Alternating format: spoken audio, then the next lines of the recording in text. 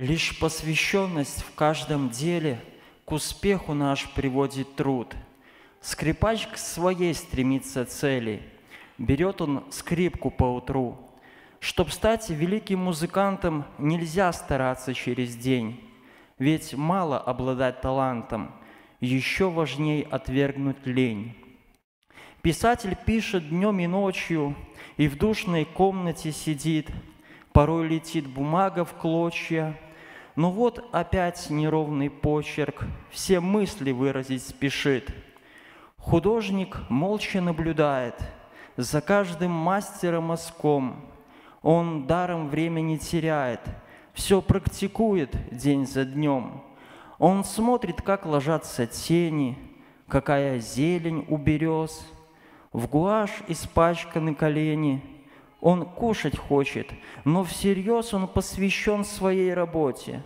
Он с, киской, с кисточкой почти что спит, и потому с его полотен на нас прекрасный мир глядит. Лишь посвященность достигает всегда намеченных вершин.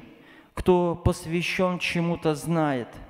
Подумай, друг христианин, к чему душа твоя стремится, едва глаза откроешь ты, за что до крови будешь биться – на что направлены мечты, когда святое Божье имя не просто носишь, им живешь, то всеми силами своими себя для Бога отдаешь.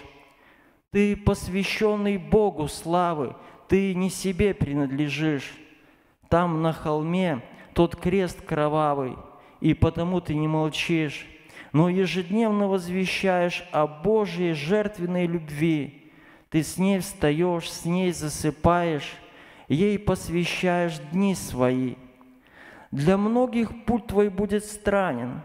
Ты за спиной услышишь смех, но не заглушит он призвание. Лишь посвященных ждет успех.